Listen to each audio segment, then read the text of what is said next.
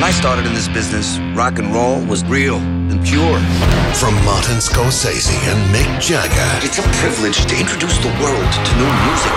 Express from the US. I want fresh artists today. Let's show people how rock and roll is supposed to make you feel. Vinyl begins Monday, February 15 on Showcase, the home of HBO. Then available in Foxtel anytime.